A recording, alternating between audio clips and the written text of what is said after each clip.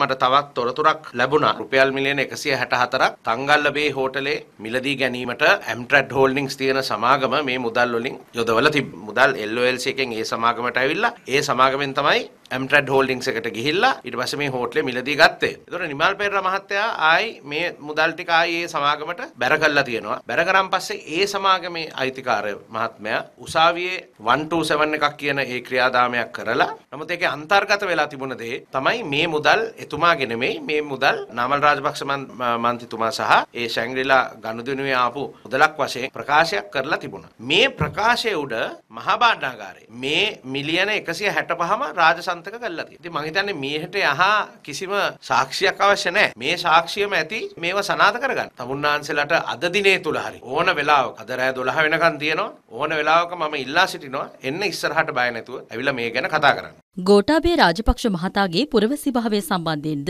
සජින්වාස් ගුණවර්ධන මහතා මෙම මාධ්‍ය හමුවේදී කරුණු පැහැදිලි කළා. මම ගොඩාක් ඇමරිකාවේ සෙනෙට් මණ්ඩලය එක්කත් කොංග්‍රස් එකත් එක්කත් මේ ගොඩාක් කිට්ටුවෙන් වැඩ කරපු පුද්ගලයෙක් හැටියට දැන් මෙතන එක දෙයක් කියවෙන්නේ නැහැ මේ ප්‍රශ්නේදී. දැන් හැමෝම කියනවා එතුමාගේ නම අර ෆෙඩරල් රෙජිස්ටර් එකේ නැහැ කියලා තාම. ෆෙඩරල් රෙජිස්ටර් එකේ නම එන්නේ නැහැ කියන්නේ තාමත් එයාගේ පුරවැසි භාවය අවලංගු වෙලා නැහැ කියන එක තමයි. මොකද ඒ ආයතන 22කට යන්න තියෙනවා. එතකොට ඒ නම එන්නේ නැත්තම් ඒ කියන්නේ ඒ ආයතන 22ම එකක් හරි දෙකක් හරි කීයක් හරි ඒ තාම ඒ ක්ලියරන්ස් එකක් ලබා දීලා නැහැ කියන එක තමයි ඒකෙන් සනාථ වෙන්නේ. එතකොට ඒ සනාථ වීමත් එක්ක එතුමා තාම ඇමරිකන් පුරවැසියෙක් බව තහවුරු වෙනවා. නීතිය කෙසේ වෙතත් හෘද සාක්ෂි අනුව මේ රටේ ජනතාවට බොරු කරන්න බෑනේ. දැන් අලිසබ්‍රි මැතිතුමා කියනවා මේ රටේ ජනතාවට ඒක පෙන්වන්න ඕනේ නෑලු. එතකොට එහෙනම් කාටද මේ රටේ ඡන්දෙ දෙන්නේ කවුද? ජනතාව දැනගන්න ඕනේ මේක හරිද නැද්ද කියන. දැන් ඒ කොලය ප්‍රසිද්ධ කරලා නෑනේ තාම. දැන් ඒකේ ප්‍රශ්න දෙකක් තියෙනවා. එකක් අර කන්නඩි දාගෙන දාලා තියෙන පින්තූරේ. දැන් අපි හැමෝම දන්නවා වීසා එකක් ගන්න ගියාම උනත් පාස්පෝර්ට් පින්තූරයක් ගන්න උනත් කන්නඩි දාන්න දෙන්නේ නැහැ.